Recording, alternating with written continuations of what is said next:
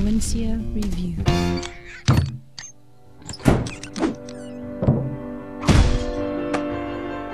Greed Corp. It's an interesting game. You go around and you build these structures that push down on the land, takes out resources. With those resources, you can do several different things from building cannons to building these little walkers that take over more land or attack other areas. There's not too many types of buildings, there's just like two. so it's not or three, sorry. So it's not like it's very complex. There's some cannons there. But the concept is uh, strategy based and turn based.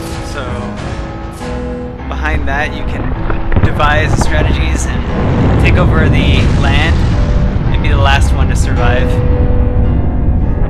Essentially, you want to harvest as much land as you can while maintaining some land for you to still have a place to stay alive on.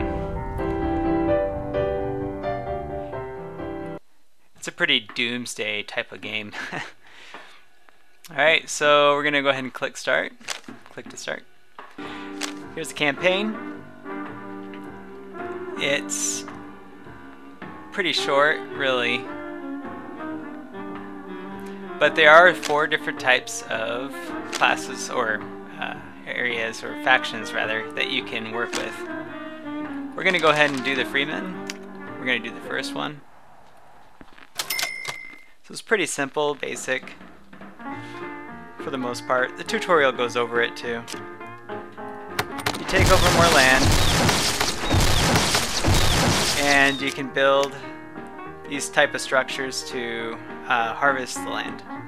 Now one thing to keep in mind before you build a harvester is, as you see my mouse cursor has, there's four different dots, or four dots right here, but there's only three dots here.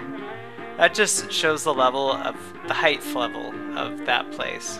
It's like over here is four, three. And you can only build structures, of course, on lands that you've conquered or taken over. I'm going to go ahead and just build this here, even though it's it's three. Basically, when uh, it's the harvester's time to harvest, it will lower the levels of this place and all the places surrounding it. So it does that and gives you resources in return. When you want to move a, a group of guys that you have, you just click on the group and you click where you want to go. If you have multiples, you just use your mouse wheel to change it. Or you could use plus or minus on your keyboard, I believe is what it is. I don't use the keyboard for it, so the computer takes their turn. I like to fast forward through this, so by pressing this button it does that for you. Alright. One thing that you can do, if you're on your own land, uh, moving your your workers, you can actually move them across several different squares. I believe up to three. So they have that in mind. And there's the harvesters going for them. And there's ours. Now with the resources, they show up here. Uh, their resources resources are shown here. I'm gonna go ahead and build another one. I'm gonna be a little aggressive.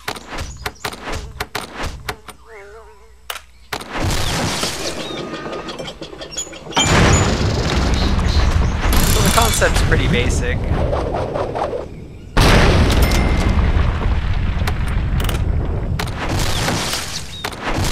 Just trying to outlive your opponent.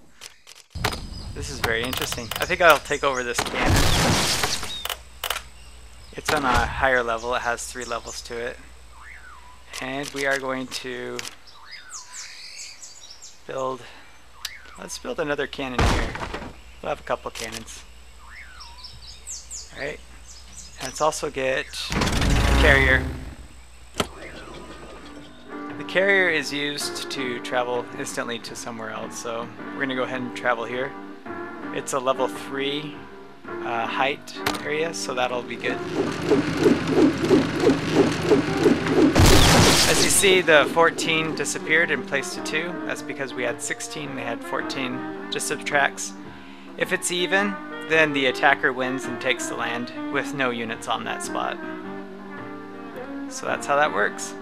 We're also going to fire, or build, sorry, build a cannon right here. Uh, the reason why I didn't build more, or ammo, sorry, for the cannon right here. The reason why I didn't build the ammo here, or put ammo in there, is because they can move right here and take that over. Actually, we're gonna build a harvester here and here. Now if they harvest, this spot right here is also gonna go down. Oh, looks like they took it over.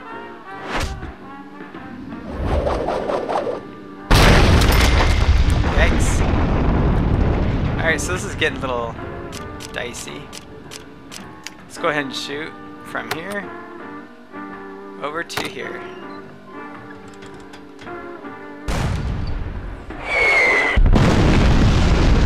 It uh, took away five of their units, and it also lowered the level of this place right there. Alright. Yeah, I'm a little concerned here, because I don't know how to stop that thing from harvesting. So, we're in a little bit of tight spot there. Let's see if we could shoot him down to death.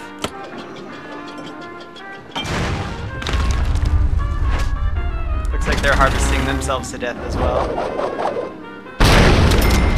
Last spot left, last turn, last chance. Here we go. Fire number one.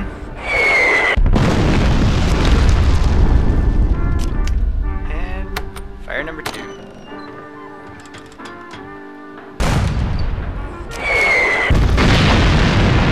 Looks like I won by the skin of my teeth And it's victory. So that's the gameplay. So one thing I didn't really like about uh, this game was the multiplayer option didn't really uh, work. I tried to join a battle for and waited for 13 minutes and still a battle didn't start. So the only option I think that you really have is to create your own battle for a local player. You can have up to four players. And although it doesn't let you have an option to set the starting money, you can switch turns between the players and get whatever amount that you want to start with. So, this is Greed Corp. I hope you liked the tutorial, and if you do decide to play it, um, be sure to find a friend or two to play with.